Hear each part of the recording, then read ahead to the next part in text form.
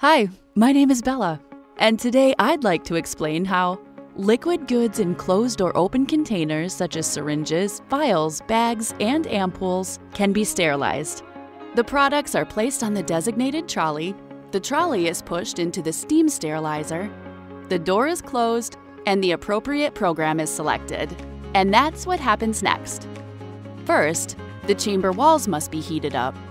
Therefore, steam is passed through the channels outside the chamber. If the walls are not heated first, the steam needed later inside the chamber for sterilization would condense and cause the products to be sterilized to become wet.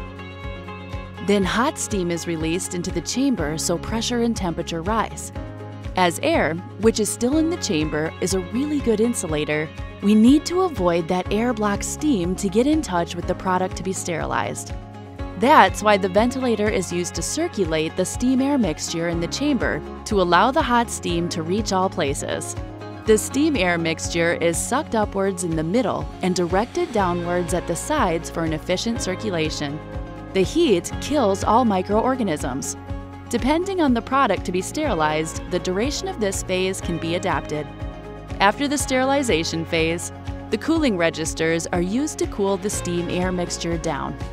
The ventilator is used for this step to push the hot mixture along the cold water pipes. Compressed air is put in additionally to increase the pressure and avoid boiling of the liquids during the cooling process. This is the most efficient way of cooling the goods and the sterilizer. The doors can now be opened and the trolley with the dry products can be taken out.